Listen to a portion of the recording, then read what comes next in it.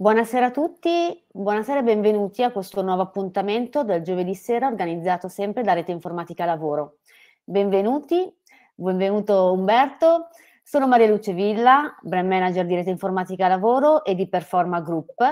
Vi chiedo se mi sentite cortesemente, se facciamo sempre le nostre solite prove tecniche, se vedete la slide, se mi sentite correttamente. Perfetto. Oggi siamo giunti al terzo e ultimo appuntamento, ultimo webinar dedicato all'argomento Docker. Mi auguro che tanti di voi abbiate visto o rivisto le registrazioni di questi webinar sul nostro canale YouTube. A conclusione di questa serie vi ho preparato come sempre una breve survey, quindi verso la fine del webinar ve lo condividerò eh, all'interno della chat, quindi vi invito come sempre a compilarla. Eh, di Docker abbiamo visto tanti aspetti, l'installazione, container, immagini, volume, file system e questa sera ne vedremo degli altri.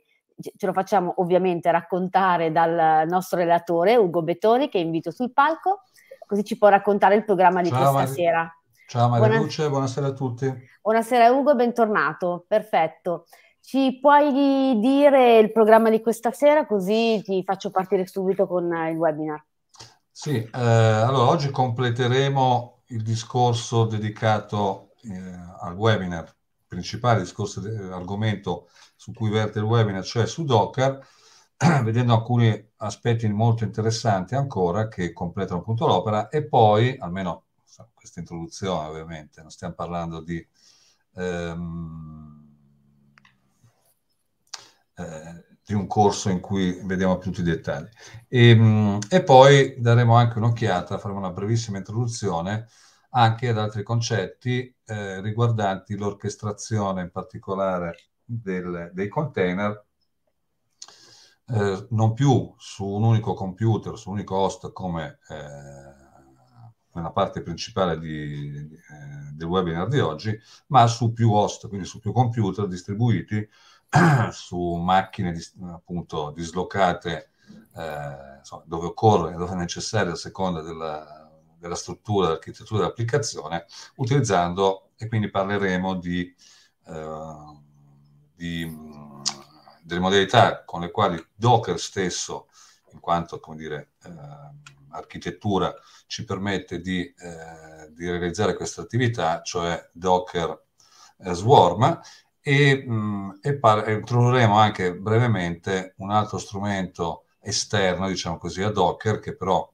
eh, svolge, consente di ottenere gli stessi risultati, anzi direi eh, risultati più, eh, più completi, più complessi, sempre nell'ottica di distribuzione su più host di più container, quindi più container su più macchine, eh, che è appunto eh, Kubernetes.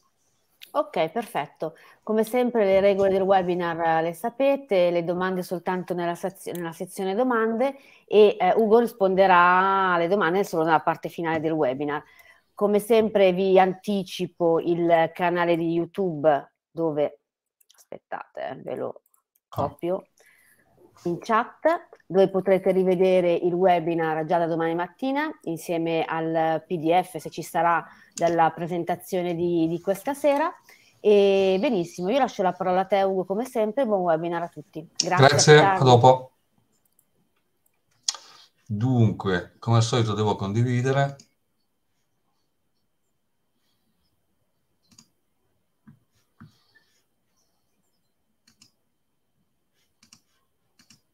Ok, apriamo la finestrina così non abbiamo il loop infinito anzi così siamo, no così non va bene, non abbiamo il loop infinito di, eh, del mio schermo. Ok, allora, come diceva appunto Maria Luce, anzi come si chiedeva, ma io intanto annuivo mentre lei, mentre lei si faceva questa domanda, avremo anche oggi delle slide per completare il capitolo, cioè eh, completare la serie quindi siamo partiti dall'1 al 2, arriviamo al 3 e mh, mm, volevo fare un breve recap eh, di quanto visto nelle puntate precedenti a mh, mm, sia come dire a vantaggio di chi magari non è stato presente nelle due puntate precedenti e sia invece a chi era presente ehm, proprio in forma di recap utile anche a che alcuni concetti li utilizzeremo ancora oggi eh, parlando appunto di Docker Compose. Quindi rapidamente vediamo un po' i concetti base, abbiamo visto nella puntata 1 il concetto di con- containerizzazione, cioè sostanzialmente una virtualizzazione, eh, l'utilizzo di macchine virtuali, chiamiamolo così, molto molto eh, come dire, ridotte all'osso, ridotte all'essenziale, ehm, che forniscono quindi gli stessi vantaggi della virtualizzazione, cioè la possibilità di avere ehm, macchine virtuali che simulano sistemi operativi diversi o ambienti, meglio ancora, diversi, quindi sistemi operativi più stack tecnologici, ehm, so, un database, un, un, server web, una, uh, un framework di sviluppo, un, una tecnologia di sviluppo, Java, eh, PHP, quello che serve, insomma. Quindi il vantaggio della virtualizzazione senza, diciamo così, eh, gli svantaggi tipici dal punto di vista eh, nostro, che adesso poi sottolineerò, eh, senza i svantaggi tipici invece delle macchine virtuali, che sono ovviamente in primis la dimensione, quindi quando io installo una macchina virtuale, installo tutto un sistema operativo con tutti gli annessi e connessi, compresi per esempio, per fare un esempio stupido, i giochini che insomma eh, se il mio intento e l'intento del container è proprio questo, se il mio intento è avere solo le tecnologie, eh, il software e le tecnologie strettamente necessarie a velocizzare la mia attività di sviluppo e di distribuzione, ecco che avere un sistema operativo completo con annessi e connessi, tra cui appunto i giochini stupidi, non mi serve a nulla e mi, eh, mi appesantisce eh, tutto il lavoro. Eh, quindi ecco il vantaggio dei container rispetto alle macchine virtuali. È ovvio, l'avevo detto, l'abbiamo già eh, sottolineato, che se il mio scopo non è quello di avere eh, un container con solo l'essenziale utile a sviluppare la mia applicazione e a ridistribuirla ovunque in tempi rapidi, eh, e se i miei obiettivi sono altri, tipo avere un, un sistema operativo completo in cui eh, svolgere le attività comuni che si possono svolgere su una macchina, su un sistema operativo completo, ecco che il container non mi serve a nulla. Ma, ripeto, il container, il concetto di containerizzazione è appunto uh, un concetto che va incontro alle necessità sempre più urgenti, diciamo così, e sempre più comuni di sviluppare, di avere lo stack di tecnologie utili allo sviluppo di applicazioni ne- strettamente necessarie e poterle riprodurre, ridistribuire, replicare molto rapidamente in qualunque altra macchina. Quindi tipicamente si svilupperà in locale, in un proprio container locale, poi quel container con il suo stack di tecnologie e ovviamente i sorgenti, diciamo così, della mia applicazione, eh, che si appoggiano su questo stack di tecnologie, li distribuisco, li replico su un server remoto in diciamo, 448. Avete visto che poi è molto rapido eh, creare un container e farlo girare. Sugli altri vantaggi, eh, che sono impliciti in quello che abbiamo detto, e poi comunque ci sono sia le registrazioni sia che le slide precedenti. Abbiamo anche eh, eh, sottolineato il fatto che il Docker come ambiente, come tecnologia, è, è strutturato, composto da quattro elementi fondamentalmente. Il Docker Engine, engine cioè il motore grazie al quale possiamo eh, appunto creare i nostri container e utilizzare per i nostri scopi, che nel, eh, ovviamente prevede una fase di installazione apposita, che nel caso di in particolare sistemi operativi eh, non Linux, quindi tipicamente Windows o Mac come nel mio caso, eh, può essere realizzato un, installando, abbiamo visto, Docker Desktop. Lo lanciamo così ci prepariamo al, al passo successivo. E abbiamo il nostro Docker Engine in questo momento. Il Docker Hub abbiamo detto essere invece un repository remoto eh, in cui eh, sono presenti tutte, eccolo qua, in cui sono presenti tutte le, ehm, le immagini utili a costruire i nostri container. E da, da quanto detto finora, appunto, gli elementi base poi di un, di una, di un sistema eh, containerizzato sono rappresentati da un'immagine, cioè da, un, da, una serie di file che rappresentano eh, o il sistema operativo o stack, una tecnologia, il database piuttosto che il server web, piuttosto che un linguaggio di programmazione, diciamo Java o PHP, e, e poi il container che appunto, diciamo così, rappresenta un'istanza dell'immagine che tira su, per così dire, rende operativa l'immagine, aggiungendo ovviamente poi quello che eh, è la nostra applicazione. Abbiamo visto le varie modalità con le quali possiamo creare container e la prima parte la possiamo, il recap sulla prima parte la possiamo chiudere qui, vediamo la seconda parte. Eh, ciclo di vita, abbiamo visto che ovviamente un container, in quanto cos'è, macchina virtuale con dentro un'applicazione che gira, può essere ovviamente avviato, stoppato, restartato, cancellato, quindi per cancellare il container, cancellare eventualmente anche l'immagine, abbiamo visto quali sono i comandi base principali utili a questi scopi, anch'essi basi fondamentali. Ehm, abbiamo parlato poi di Dockerfile, ecco questo ci tornerà utile anche parlando di Docker Compose. Dockerfile eh, cosa ci permette di fare? Abbiamo detto, ci permette di eh, creare un file di configurazione, questo è un Dockerfile, eh, impostando una serie di, eh, eh, di istruzioni di configurazione utili a descrivere come deve essere costruita, in base a quali immagini, in base a quali tecnologie, in che modo vogliamo avviarla, da dove vogliamo iniziare a utilizzarla, eccetera, eccetera, eh, che appunto rappresenta un primo modo di eh, ingegnerizzare, diciamo così, eh, la portabilità di un di rendere effettiva la portabilità di, eh, di un container con dentro la nostra applicazione sempre, ovviamente. Um, Dockerfile, quindi, in cui andiamo a definire, abbiamo detto, alcune eh, caratteristiche base necessarie, questo è indispensabile, from, cioè definisce qual è l'immagine dalla quale vogliamo eh, generare, che venga generato il container.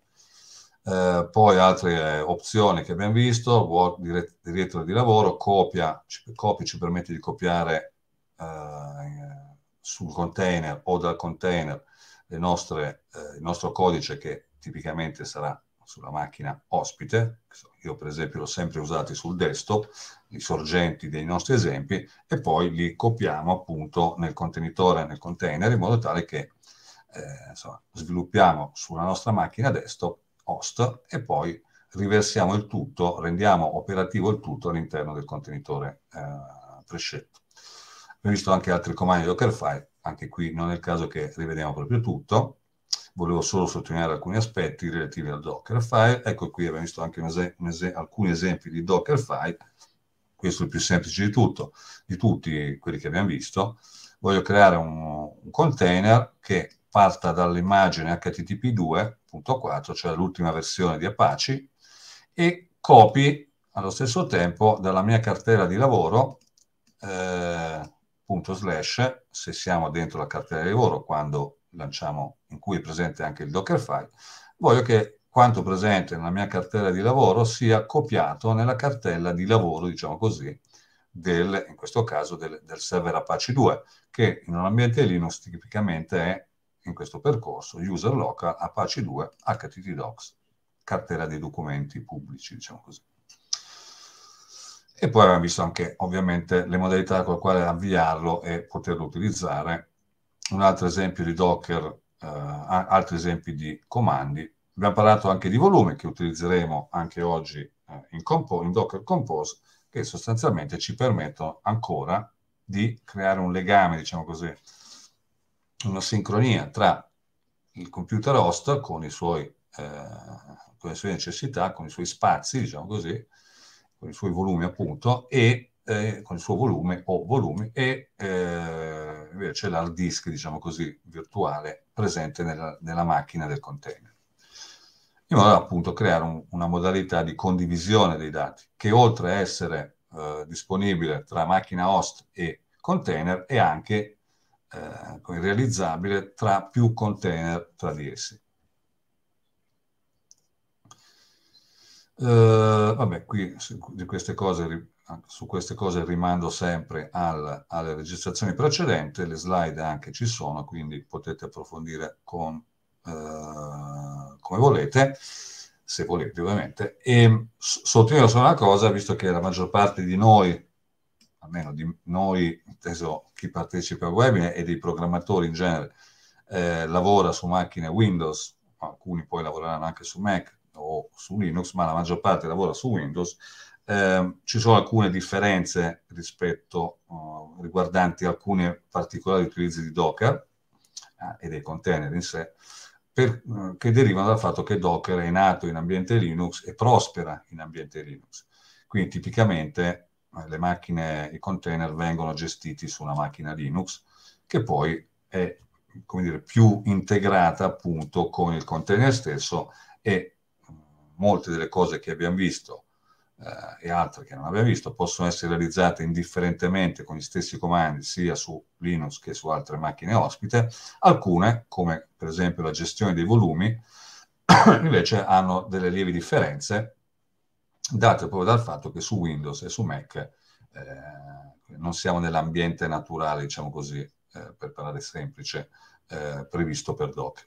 E avevamo appunto sottolineato la necessità di usare alcuni comandi un po' eh, variati, diciamo così, rispetto a quelli invece previsti per le macchine Linux, per il Docker su macchine Linux, come per esempio questo che ci, permette, ci ha permesso di, permette di eh, associare quindi un volume su una macchina, nel mio caso sul mio Mac, sul desktop del mio Mac, su una cartella precisa, con invece una cartella eh, presente sul container di una versione Linux Ubuntu containerizzata, quindi nell'immagine Ubuntu di Linux. E poi avevamo visto anche ulteriori cose, anche qui ri, ri, eh, rintracciabili eh, in qualunque momento, sia come registrazione che come eh, slide. Quindi Dockerfile, i concetti che ho voluto ri, ricapitolare sono Docker, container, immagini e ehm, volumi sostanzialmente, che adesso riutilizzeremo vedremo riutilizzati anche in Docker Compose.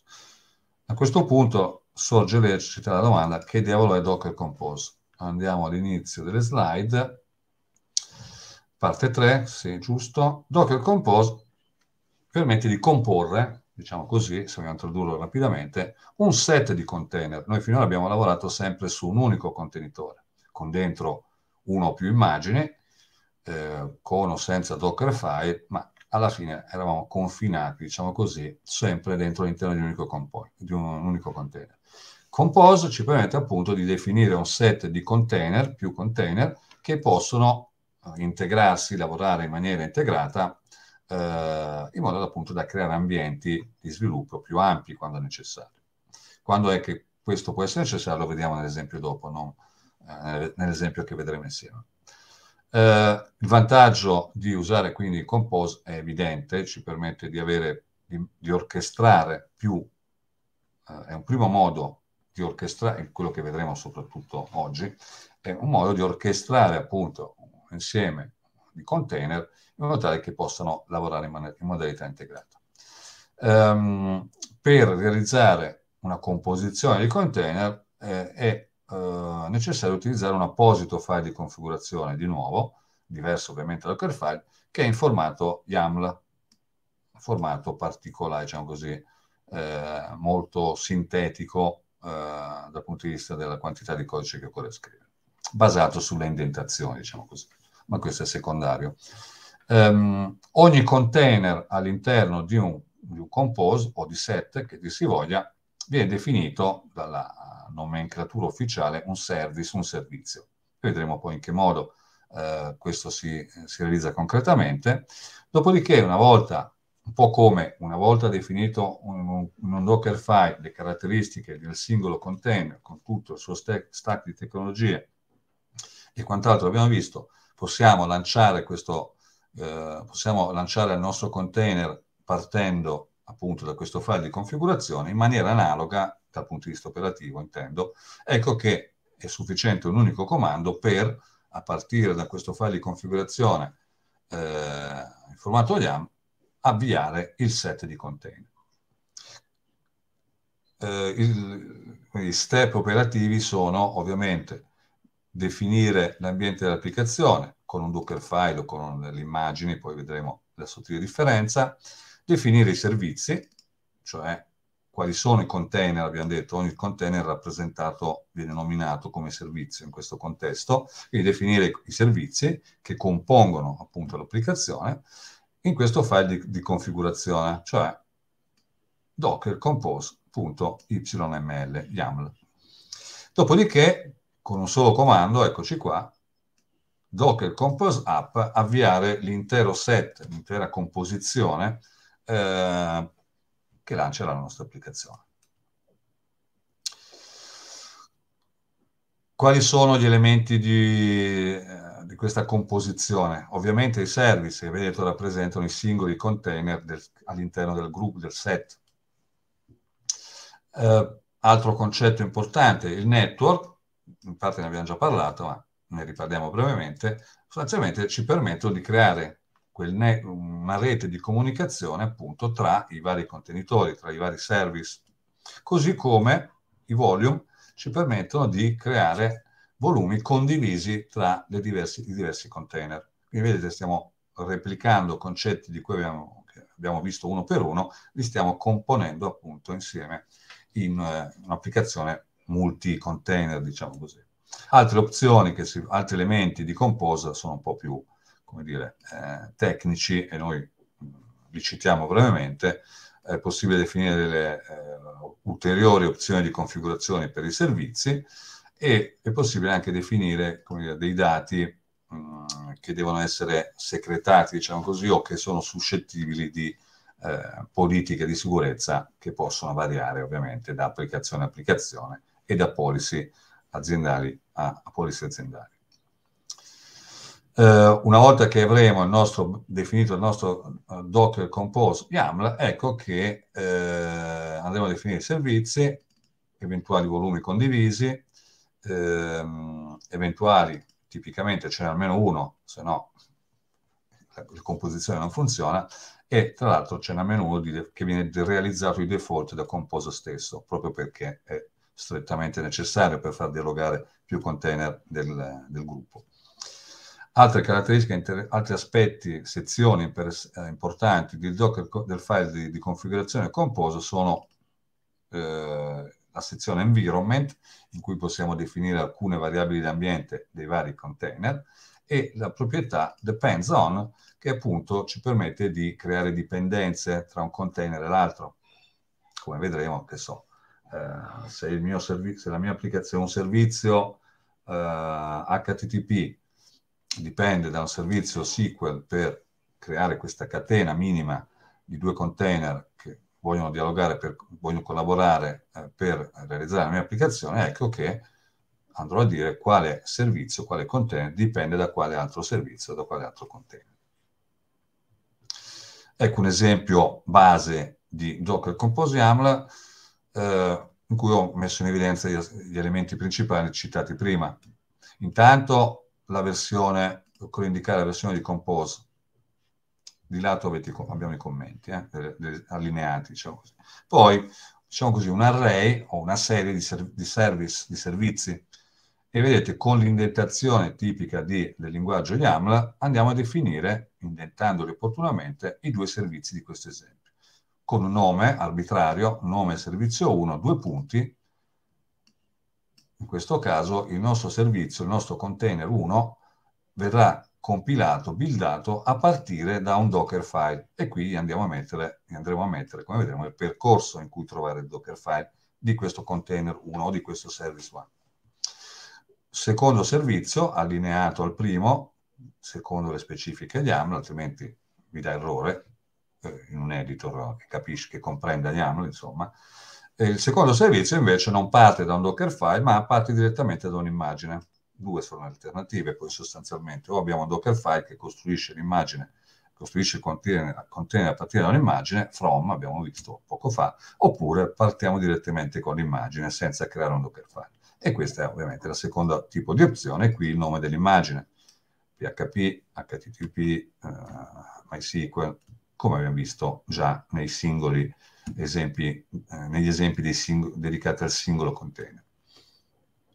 Volendo possiamo anche dargli un nome, abbiamo visto anche questo è utile per poter accedere in applicazioni multi-container, soprattutto avere un nome scelto da noi che ci permetta di muoverci all'interno del, eh, dell'insieme uh, dei container.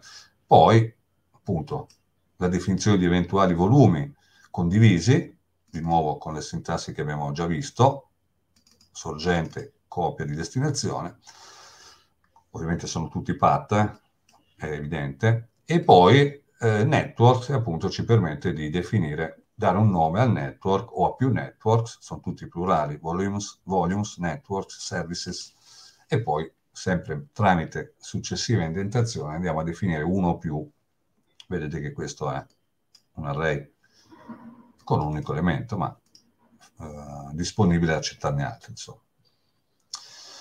Ha detto poi eh, il comando principale, quello che ci, una volta definito il file di configurazione ci permette di avviare il comp il, la composizione, eh, il gruppo di container è appunto do, docker compose app. Crea i containers e li avvia.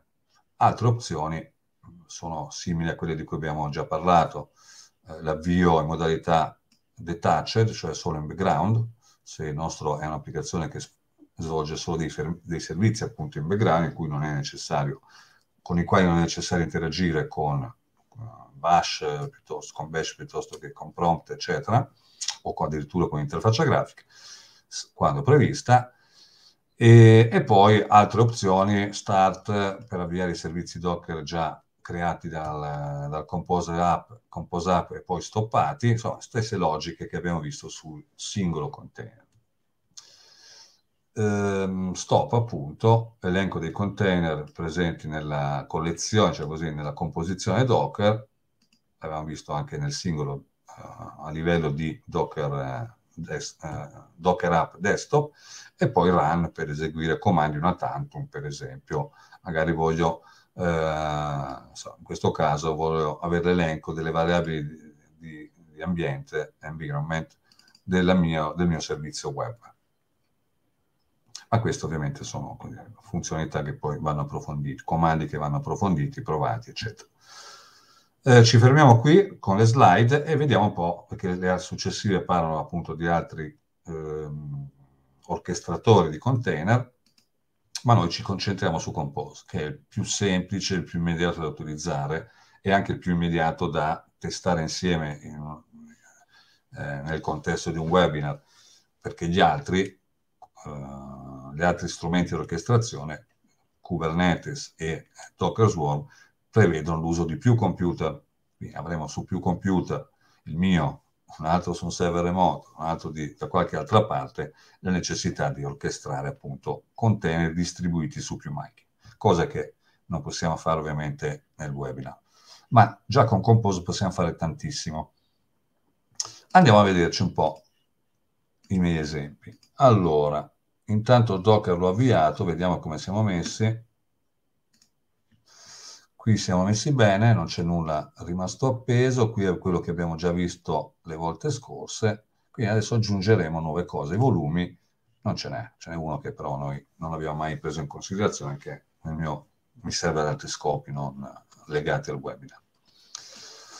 Dunque, partiamo da qui. Allora, io ho, ho, ho preparato due esempi abbastanza interessanti, eppur nella loro semplicità. Il primo è questo, MyCompose eh, VP, cioè eh, un esempio di composizione eh, di container ehm, molto utilizzato, cioè che può essere molto utile nel senso che eh, spesso è necessario eh, poter creare uno, dover creare un'applicazione basata su WordPress, da qui VP, eh, per cominciare a elaborare il nostro progettino o progettone, il nostro tipicamente che sono oramai WordPress viene usato moltissimo, almeno per quello che mi riguarda, eh, per le richieste che mi arrivano nell'ambito dell'e-commerce, eh, vediamo appunto come con un semplice filetto, questo, possiamo andare a costruire uno stack tecnologico utile a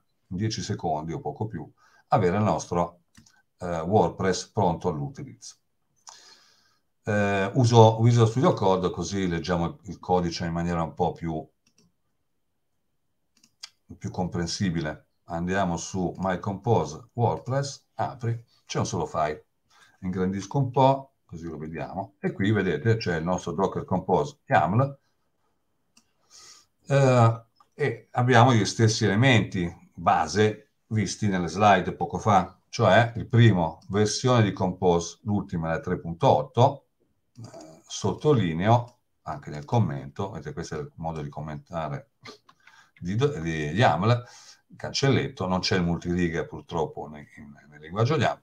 Ehm, questo è importante, voglio sottolineare che la versione 3.8 di Compose deve essere compatibile con la versione Docker che stiamo utilizzando e lì ovviamente ci sono delle tabelle come dire, comparative nella documentazione ufficiale che ci permettono di, di, di proseguire correttamente. Dopodiché abbiamo, ecco, il nostro uh, stack di tecnologie, anzi la, la, serie di container che in ambito Docker Compose vengono de- definiti service. Questo quindi definisce una serie di service, noi ne abbiamo due. Il primo service al quale diamo un nome, tipicamente, MyDB, conterrà il nostro servizio, il nostro container eh, basato su un database più, più comune, MySQL. Il nome dell'alias è arbitrario, quindi possiamo chiamarlo MyDB, my, mio database, eh, eccetera, eccetera. Qui abbiamo questa mh, l'indicazione di una versione di Linux che però è opzionale, nel senso che nel mio caso non è opzionale, perché è appunto un'opzione utile per aggiungere compatibilità eh, con versione, questa versione di Linux e con questa versione di MySQL in particolare, che al momento non è già disponibile per i, i Mac con il chip nuovo Apple M1 e tantomeno con gli M1 Max, eccetera, quelli che verranno. Quindi questo è opzionale solo per compatibilità con gli Apple uh, più recenti. Dopodiché il resto invece non è opzionale, diciamo così, non dipende da, da, dal computer, ma abbiamo appunto l'altra voce che abbiamo visto nelle slide, quale immagine, da quale immagine costruire il container del database con nome MyDB. E anche qui andiamo a indicare il nome dell'immagine MySQL. Ho usato, ho ancora lì una versione 5.7, anche se siamo un po' più avanti, no, non è che cambia molto. E quindi questo è il nome dell'immagine. Poi abbiamo detto un altro elemento importante, comune all'interno di Compose, è quali volumi vogliamo eventualmente utilizzare. In questo caso vogliamo che eh, i dati del volume vengano salvati nella libreria, nella cartella lib di MySQL nel container. Anche qui queste opzioni poi vanno valutate e contestualizzate con il tipo di container sulla macchina, eh, con il tipo di eh, sistema operativo Linux che eh, containerizziamo, eccetera, eccetera. Eh, vabbè, il restart è un'opzione così, non è che sia fondamentale, anche se utile. Eh, ci sono vari, eh, sostanzialmente abbiamo due opzioni. Eh, restart always, cioè ogni volta che il container eventualmente si dovesse interrompere deve riavviarsi in automatico, oppure unless stop, riavviare a meno che non sia stato for, uh, stoppato con l'apposito comando stop. Qui abbiamo detto altri elementi, gli elementi variabili d'ambiente, environment. Qui ha senso, per esempio in questo caso, impostare le variabili eh, relative al container dell'immagine MySQL.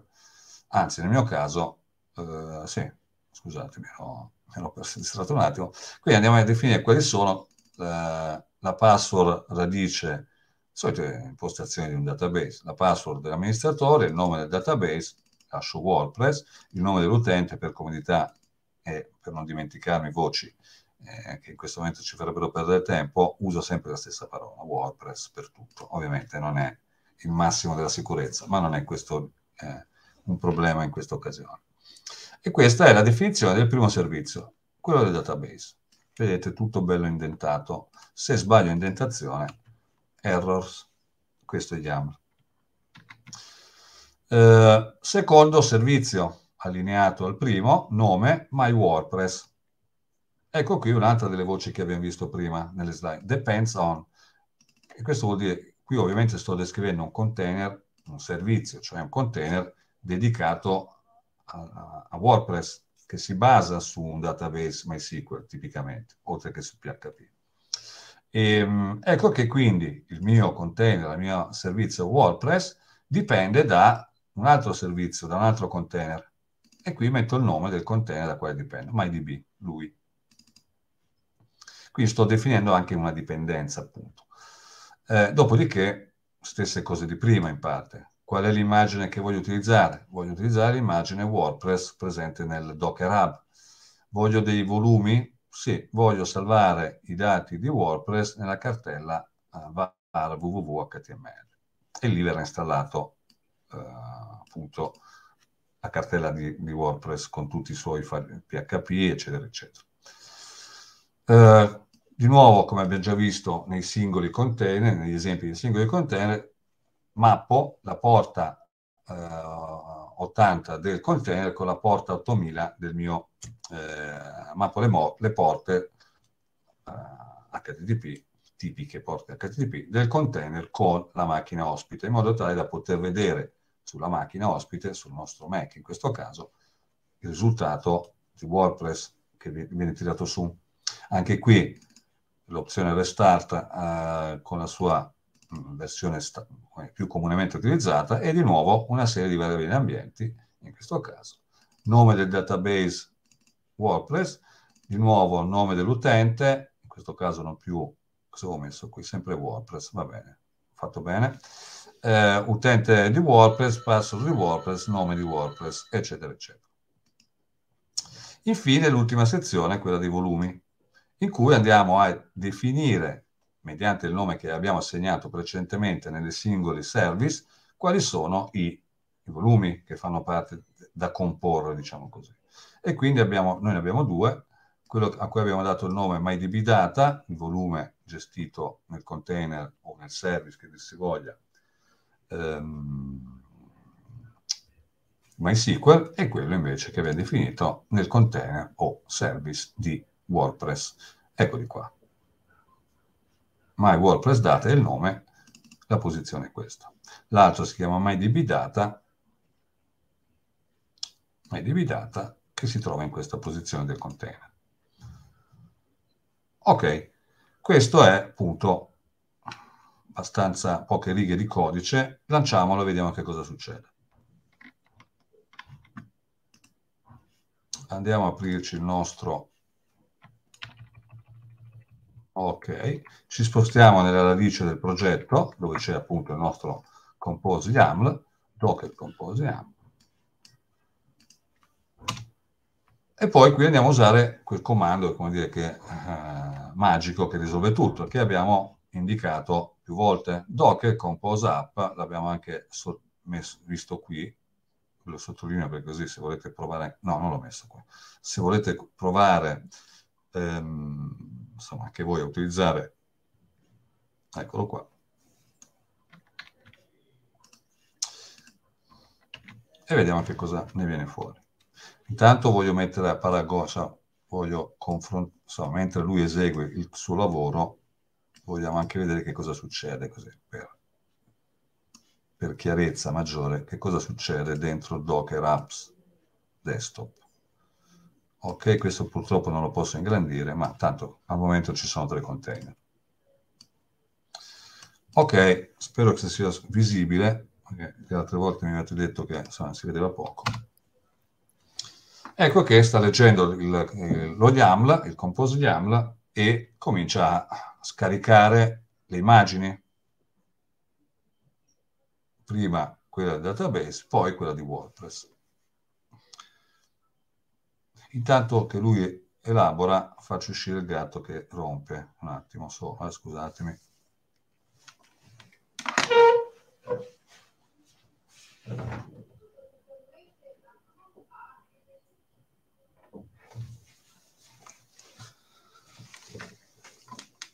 Ah, ok, vediamo che cosa è successo nel frattempo. Adesso vedete, ha completato MySQL Community Server. Vedete che qui mi ha creato appunto eh, il, il, mio container composto. si è aggiunto ai tre che avevamo già precedentemente, già eseguito. Vedete che mentre gli altri, e vedete che anche cambia l'icona, questi sono singoli container, singoli box. Questo è un multile, eh, un container, più container su diversi livelli. E il più è verde, cioè è già in esecuzione. Eh, fronte immagini mi ha aggiunto le immagini necessarie. Eh, MySQL, appunto, il primo service, e WordPress, il secondo service che abbiamo definito all'interno di eh, Compose YAML.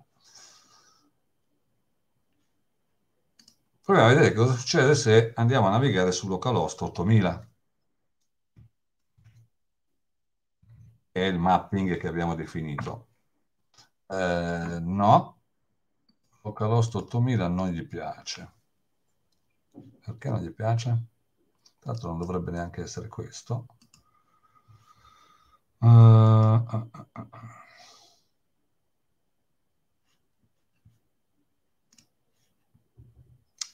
localhost e basta localhost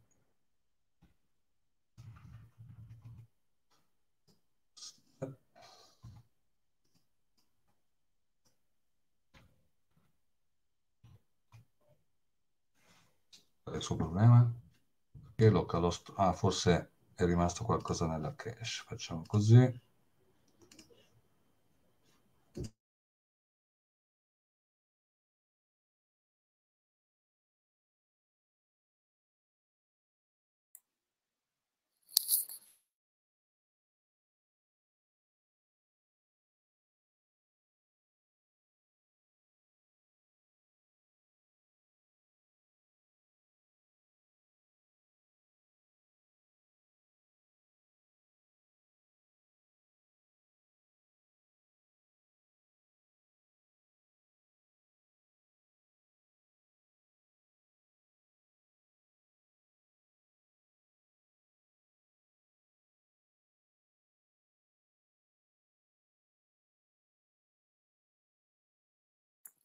Ottimo, grazie.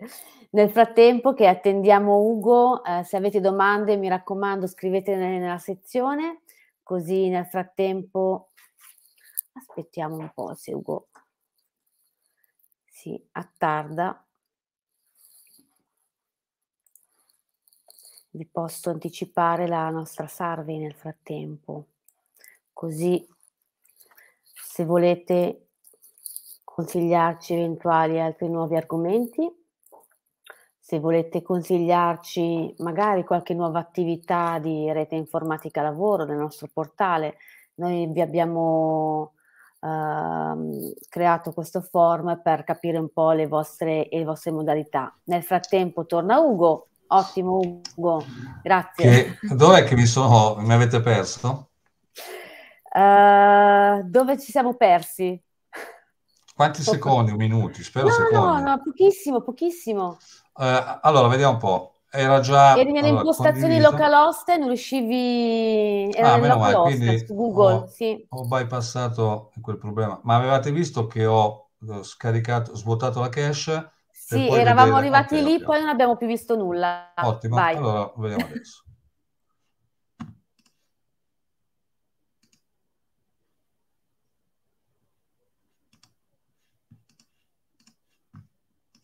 Ok, eh, eravamo arrivati qui, spero, cioè avevamo scelto la lingua italiana nella classica pagina di installazione WordPress, appunto.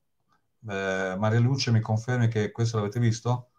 Eh, eravamo proprio in Google, tu stavi selezionando localhost, quindi allora sì, dovrebbe così. essere questo, perfetto. Abbiamo detto che abbiamo mappato la porta localhost 8000 Sì, con perfetto. il nostro container e lui mi rimanda alla pagina di WordPress, tipica pagina di WordPress di installazione. Abbiamo scelto la lingua italiana per ovvi motivi e poi stavo appunto dicendo brevemente qual è il titolo del sito, nome utente admin e password ovviamente metto VP per completezza, confermo, insomma, burocrazia wordpressiana, io chiocciolaio.it e scoraggiamo i motori che tanto non ci prendiamo in considerazione in questa occasione. Bene, installa WordPress. Fatto. Login, VP, andiamo a vedere. quindi admin computer e wp come password. Ok. Siamo su WordPress all'interno di un container. Ci abbiamo messo, a parte il problema della cache, 10 minuti. Vabbè, poi a creare il composer ce ne vanno un po', il compose file YAML ci va un po' di tempo, però insomma, dopodiché quel file lì lo portiamo dove ci pare, lo distribuiamo sul server, lanciamo comp Docker Compose App e tira su tutto e poi procediamo. In questo caso quindi siamo sul nostro uh, versione come vergine, diciamo così, di uh, WordPress, facciamo fuori queste schifezze che non servono a nulla, chi usa WordPress lo sa, Vede, è completamente operativo, aggiungiamo un nuovo plugin, tipicamente se si sveglia useremo WooCommerce, utilizzato eh, a ragione di vita, diciamo così, attualmente di, che tiene in vita soprattutto WordPress, installiamo WooCommerce.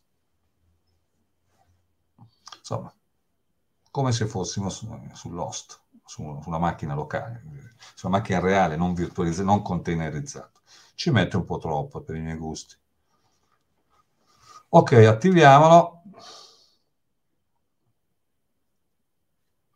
Eh, ho detto attiva. Sì, sta girando. Tanto vedete che sotto continua. Qui lo saltiamo, non abbiamo certo tempo di eh, salta i dettagli, sì, non ti preoccupare. Ecco fatto, questo non ci interessa, sappiamo già come si crea un prodotto, ne facciamo uno al volo giusto per vedere che tutto funziona tranquillamente come sempre. Andiamo nella sezione prodotti di WooCommerce, ci creiamo un nuovo prodotto, più uno, titolo, eh, descrizione, ignora, prodotto semplice, vediamo 20 euro, 22, prezzo di destino, 20, scontato del quasi 10% o circa il 10% eh, vabbè non aggiungiamo immagini altra roba, salviamo, pubblichiamo il nostro prodotto. Andiamo a vedere il nostro sito, base, poi qui shop, andiamo allo shop, vediamo se c'è il nostro prodotto 1, eccolo qui, scontato 20 euro, eh, aggiungiamo al carrello, andiamo al carrello, più 1, 20 euro, aggiungine 2, aggiorna con il carrello, vai al pagamento, eccetera, eccetera, da qui in poi, insomma mi fermo, non è un webinar su WordPress. Eh, quindi, fantastico. Con poche, insomma, poca fatica, soprattutto pensando che la fatica, diciamo così, eventualmente iniziale, eh, da dedicare alla definizione del file di configurazione compose, una volta risolta quella, poi a me ha portato via uh, una manciata di minuti, ehm, una volta risolta quella, poi quel file Compose diamo, lo portiamo in giro ovunque dove ci pare, lo diamo ai colleghi, lo mettiamo su un server remoto, lanciamo Compose App e via, risolto. Ok, vediamo che sono le 19.18, va bene, vediamo un altro esempio rapidamente, che tra l'altro mi è, stato, mi è utile, eh, l'ho dovuto creare su per conto mio, non tanto per, a scopo webinar, ma perché, intanto blocchiamo questo, chiudiamo, chiudiamola brutalmente così non perdiamo tempo eh, diciamo perché appunto tra le varie problematiche, diciamo così, di eh, faccio un po' di pulizia, tra le varie, così è più chiaro poi cosa stiamo aggiungendo e cosa no, nella prossima esempio, eh, tra le varie, ehm, ok, c'è nient'altro che ci interessa, no, i volumi li possiamo far fuori, eccoli qua, vedete, i nostri volumi del database di WordPress. Addio per oggi. Eh, dicevo, mh, mm, tra le varie problematiche di, del chip M1 della Apple c'è il fatto che non è nuovi, eh, anche nei nuovi sistemi operativi, cioè in, uh, dove sono adesso oggi, scusate, eh, su Monterey, non è più presente l'installazione tipica di l'installazione default di PHP. Quindi per pro- realizzare progetti PHP, che sono un'altra fonte, diciamo così, di guadagno in genere, ecco che eh, avevo due opzioni disinstallare l'Apache eh, installato di default in Monterey e poi installare una versione che tra l'altro è, come dire, configurata in modo tale da non accettare PHP, perché secondo, e non solo secondo Apple, è un linguaggio diciamo, non troppo sicuro. ma in alcuni casi insomma, si utilizza co- correntemente, non è certo quello il punto. E quindi le opzioni erano disinstallo la versione Apache maneggiata da Apple, mi installo una versione Apache ex novo, ufficiale di, appunto della, della fondazione Apache, e mh, poi mi installo PHP, eccetera, eccetera. E da lì in poi posso progettare, produrre il mio prodotto. Oppure tiro su una macchina virtuale, ma devo fare lo stesso lavoro, grosso modo, e ci metto un'oretta, oppure mi faccio un bel compose, eh, o uso comunque la tecnologia Docker, e in questo caso mi faccio un compose. Andiamo a vederci l'altro compose, l'altro esempio di compose che utilizzo concretamente rispetto a quello di WordPress che è più dire, didattico, diciamo così. Apriamo quindi il nostro progettino eh, file apri cartella, andiamo su MyLaravel. Tra l'altro poi nel mio progettino PHP ho bisogno di usare Laravel ed ecco che ho trovato appunto la soluzione a tutti i miei problemi derivanti dall'M1. Ok, allora, intanto eh, io qua ci ho anche messo una cartellina con dei test dedicati a PHP, connessione a un database e una select sul database.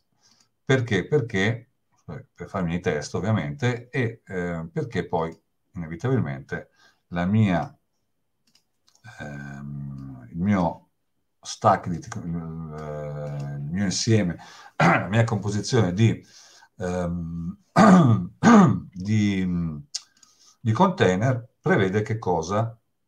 Tre, ne ho messi tre in questo caso, tre service. Uno, una versione T particolare di PHP integrata già con Apache, che si chiama appunto PHP Apache.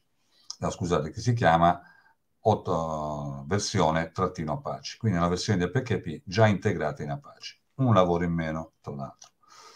Qui le stesse cose concettualmente che abbiamo visto poco fa, il nome del service, eventualmente il nome del container se è necessario entrare dentro a PHP e nel mio caso è stato necessario per installare Laravel, il quale dipende da Composer, per chi lo conosce. Quindi ho dovuto, ho dovuto poter dare un, no, ho dovuto dare un nome al container, mi è servito dare un nome al container per poter poi entrare in questo container, in questo service e usare le, la riga di comando per installare Composer, dal quale poi posso eh, generare progetti Laravel. ehm, qui di nuovo gli vado a dire qual è il file Docker eh, da utilizzare, questo qui, per creare questo, questo service, questo container. L'opzione che abbiamo già visto prima, abbinamento database, dipendenza dal database, quale questo, sempre in base al nome. Di nuovo dove salvare eh, in Apache il, i miei progetti, la mia cartella di lavoro e il nome di un network.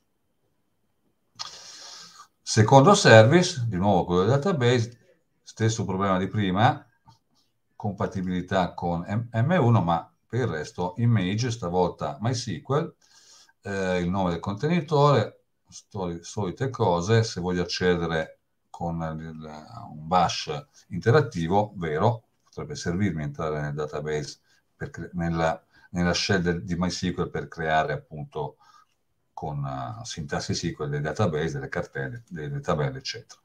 Mapping di porte, la classica 3306 di MySQL, di nuovo variabili d'ambiente, nome del database, visto che il mio progetto eh, vuole utilizzare mai la, vuole creare, si è dedicato a, a creare uno stack di tecnologie eh, dedicate all'Aravel, gli ho dato un nome banale, banalmente, la password database, volumi, network. Qui abbiamo la terza immagine, PHP MyAdmin, che ci serve per scrivere nel database, gestire il database MySQL. E quindi un altro container con immagine PHP MyAdmin, porta abbinata, eh, solite opzioni che abbiamo già visto che si ripetono in parte. Lista dei network, lista dei volumi. Um, ok, tiriamo su anche questo e vediamo che cosa succede.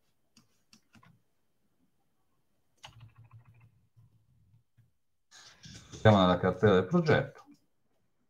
Vediamo che ci sia già composato, eccolo qui. Eh, ho stoppato tutto, qui sì, non c'è più nulla di, non ci sono scorie di quanto fatto precedentemente, immagini non ci sono quelle che ci servono adesso, verranno installate e i volumi ce n'è quello che a noi non interessa. E ora ovviamente fare le stesse cose con oggetti diversi, con immagini diverse che hai fatto poco fa.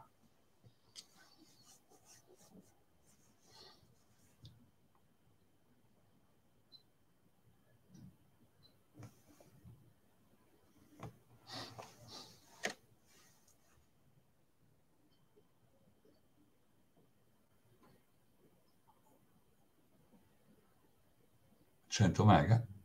107 anzi. Adesso sta lavorando con PHP Apache e ci siamo. Modalità detached. Ora, che mapping abbiamo fatto noi? Abbiamo avuto, abbiamo creato una serie di mapping. Il primo è con Apache porta 8000. Eh, questo non ci interessa. E invece PHP admin sulla porta 8080. Andiamo intanto sulla porta 8000. Ecco qui nella porta 8000, 8000 scusate, c'è un mio file index così, con, giusto di, per confermare che tutto funziona, non è questo lo scopo. Più interessante, per esempio, vedere il classico info PHP, che avevamo già visto anche quando non abbiamo usato Docker Compose, che si trova stessa, allo stesso indirizzo, ma ovviamente slash info.php. E là informazioni sulla mia versione di PHP. Poi, sempre alla porta 8000, quella abbinata a, a PHP e Apache, abbiamo questi esempi qui di connessione eh, a un database. Prima di connetterci al database dobbiamo insomma, popolare un database e la connessione va al database MyLaravel. Questo è puro PHP semplice. Eh, quindi Laravel l'abbiamo mappato sulla porta 80, scusate, PHP admin l'abbiamo mappato sulla porta 8080, quindi ci apriamo un'altra finestrina.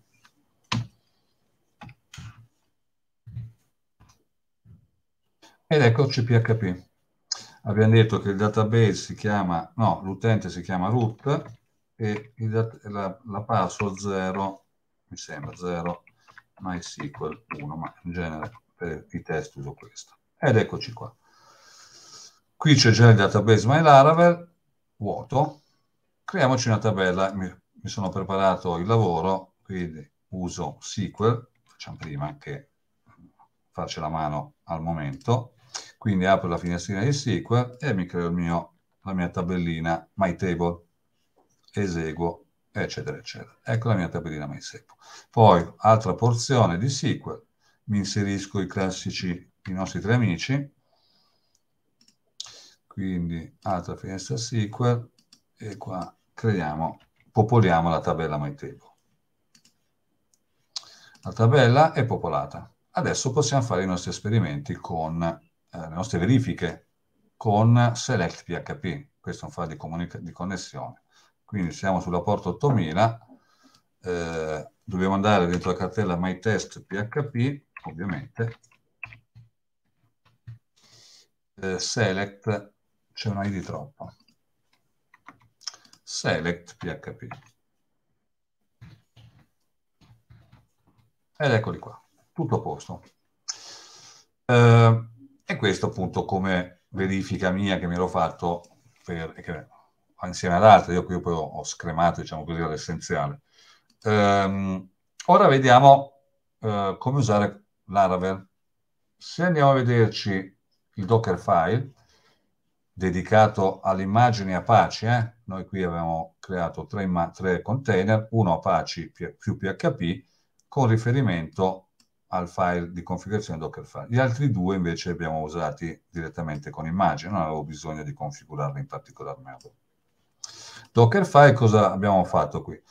Per usare Composer, grazie al quale poi poter creare progetti Laravel, mi sono dovuto installare tutta una serie di librerie PHP e con il comando sempre da from, l'immagine che stiamo usando, che abbiamo indicato anche nel compose, mi vado a usare il comando run più volte, per il mio ordine mentale me lo sono diviso in tre sezioni, eh, ognuno dei quali installa una, una, una serie di, di um, estensioni PHP.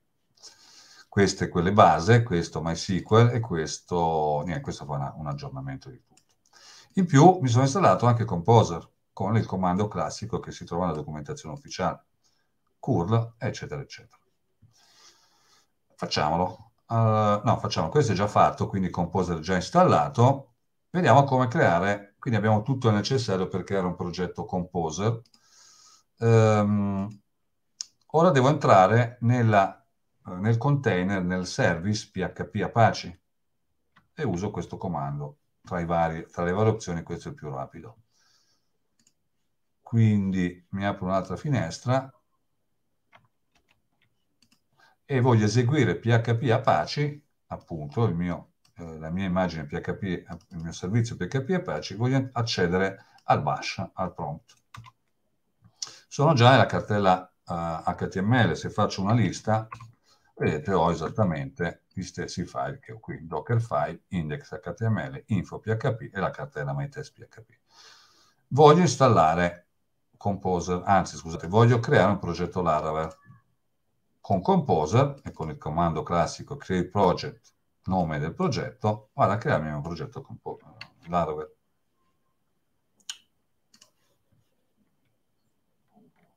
Dentro l'HTML, dentro la cartella HTML. Eccolo lì. Cioè, eccolo lì nel senso che ha già creato la cartella, poi scaricherà tutte le dipendenze di Laravel di questo framework PHP.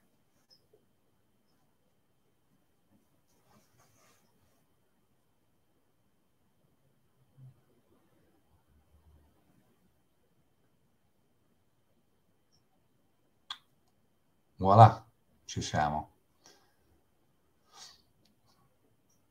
Quasi.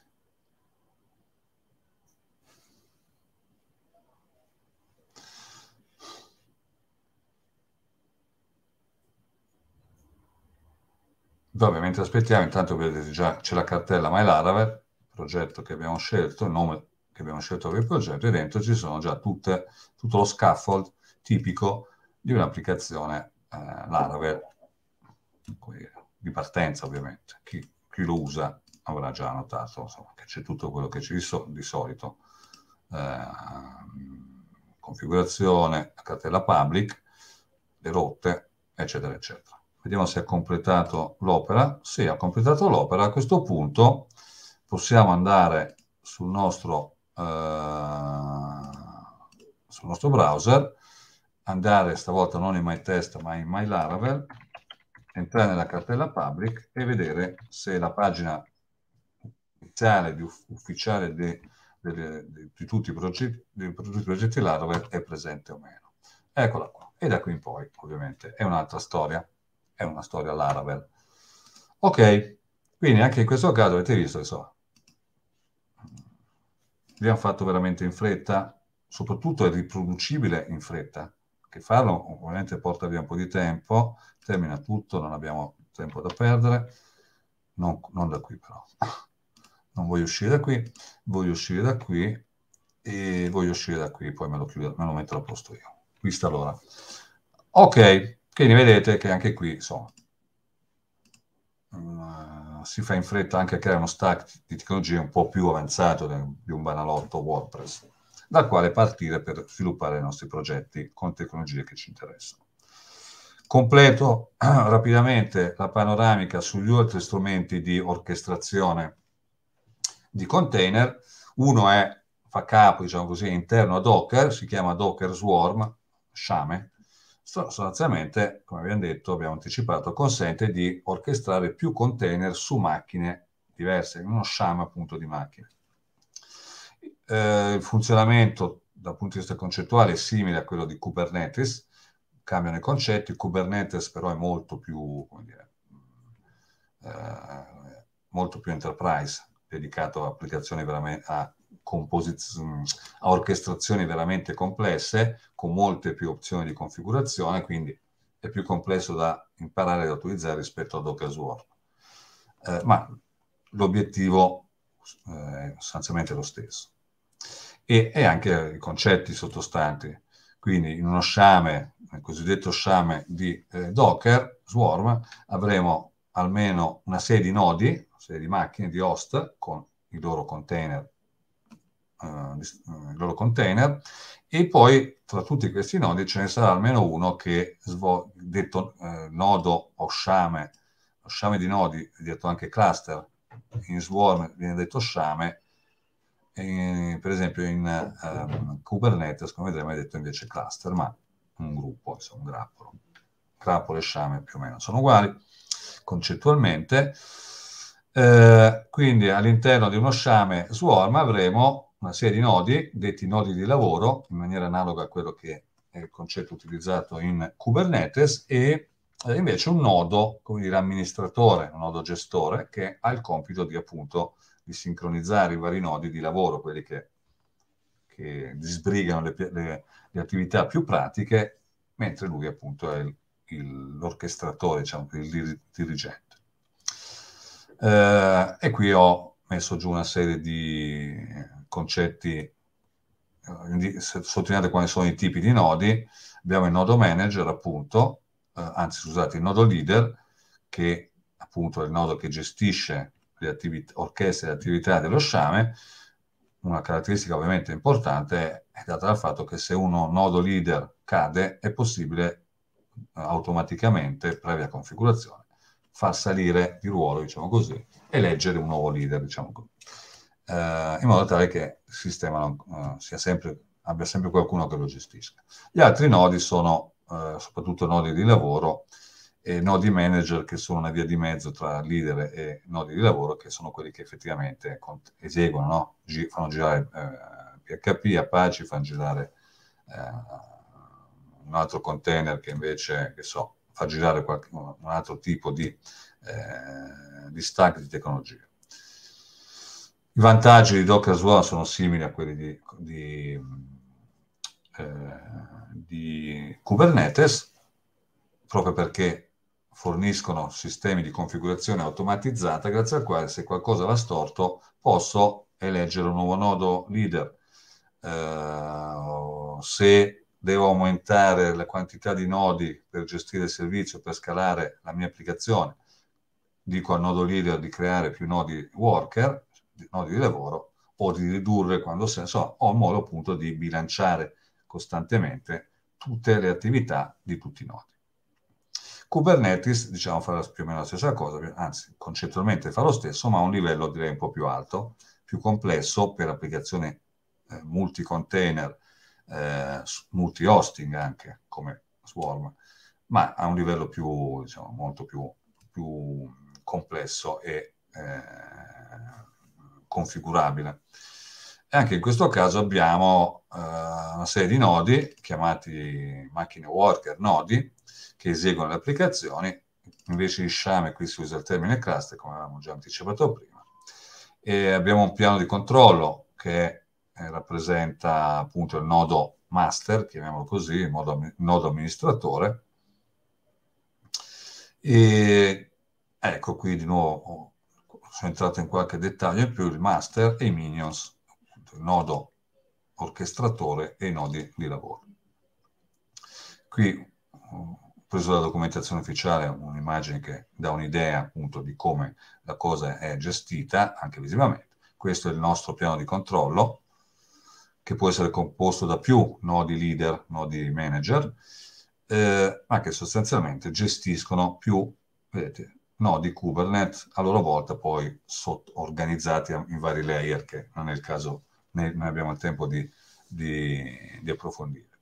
Casi d'uso, ho messo giù anche una, uh, in parte ne abbiamo già parlato, casi perché utilizzare Kubernetes per distribuire per esempio una, i più comuni casi sono distribuire un'applicazione che con, prenda più servizi su, distribuiti su nodi, su host diversi, su macchine diverse, avere una gestione costante dei servizi forniti dai container in modo che tutti possano lavorare insieme, configurare, l'abbiamo già detto, il sistema per replicare, eh, nel caso, replicare nodi nel caso che uno di essi o alcuni di essi vadano in, uh, in shutdown, eh, gestire, orchestrare tutti i nodi che girano su sistemi, di, su diversi host e appunto duplicare i container in maniera rapida e eh, garantendo una continuità del servizio.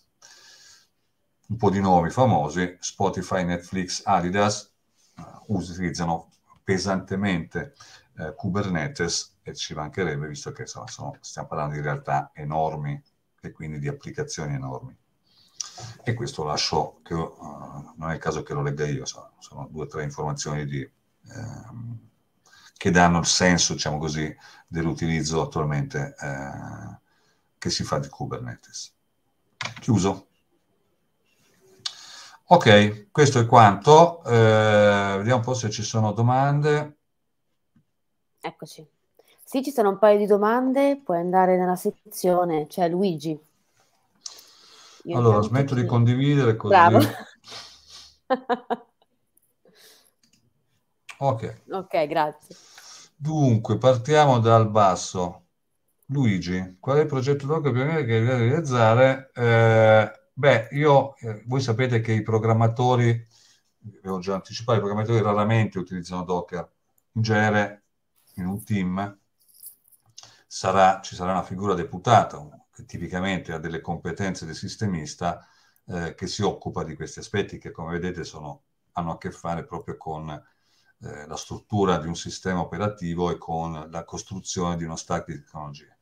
Um, io ho lavorato su alcuni progetti Docker, ma in ambito mio personale, cioè per esempio questo che vi dicevo, per uh, crearmi lo stack di tecnologie utile a utilizzare, a poter realizzare un progetto uh, Laravel in un ambiente che mi dava delle alternative più complesse dal mio punto di vista e quindi il livello di complessità è leggermente più alto di quello che abbiamo visto, quindi con 5 eh, 5 o 6 servizi.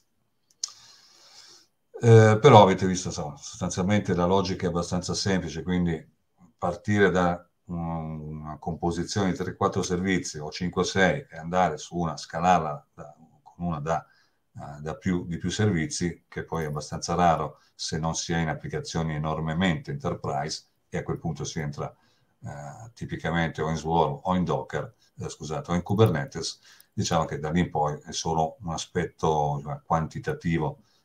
Avete visto che siamo partiti da un esempio di Compose con due uh, service, ne abbiamo fatto un altro di tre, abbiamo visto anche come puoi entrare eh, in uno dei container per usare Compose, per installare Compose e usarlo per creare un'applicazione, uno scaffold di applicazione eh, Laravel, diciamo, da lì in poi è solo un aspetto quantitativo, concettualmente non ci sono difficoltà aggiuntive. Giovanni, se ho diverse applicazioni eh, con diversi database completamente, come devo scrivere, composiniamo eh, vabbè, no, non possiamo scriverlo adesso, ovviamente. Cioè, dovremmo fare quattro ore per parlare di come fare un, un compose dedicato a questo aspetto.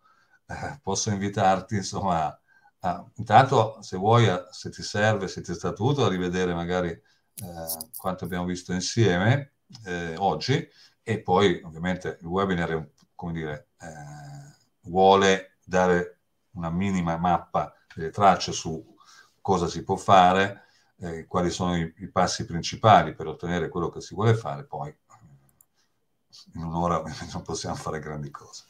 Però insomma, spero di avervi, di avervi, dato le basi per cominciare a, ehm, a, a trovare delle soluzioni al tipo, tipo di problematiche che mi sottopone per esempio Giovanni. Purtroppo deve scappare Giovanni, quindi niente, ho parlato a vuoto. Va bene. Ok. Eh, no, vuoto no, perché comunque si legge la registrazione, non troverà certo. un grande aiuto, ma perlomeno eh, dire, eh, qualche informazione. Ottimo, grazie Ugo. Siamo in conclusione. Io nel frattempo ho condiviso tutti i link eh, che dovevo fare. Vi condivido un ultimissimo link che è quello del nostro gruppo Facebook per informatici e developer.